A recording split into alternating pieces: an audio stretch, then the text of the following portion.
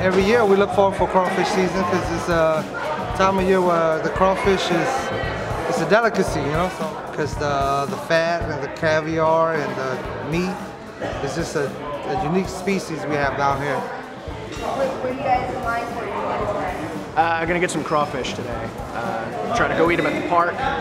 That's the way you gotta do it. You just gotta go get them. Don't eat them here. Go eat them outside. Yeah.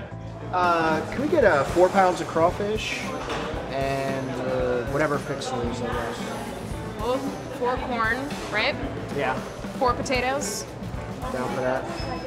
one turkey neck. Okay.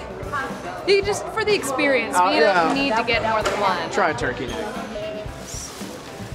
You always know you've gotten enough when the bag is hard to lift with one hand. yeah.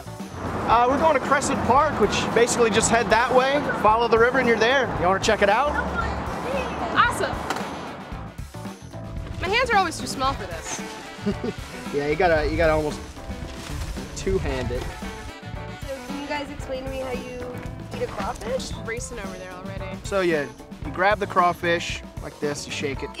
Uh, Make sure it's boiled all the way. right, uh, and then you you pinch the tail off like this. I suck the heads. Some people. I'll don't. try it. Let's... It's not my thing. Yeah, just peel a little bit off. Would you say about a third? Yeah, about a third off the top. And then you just pinch the tail, pull the meat out, put it in your face. Yeah.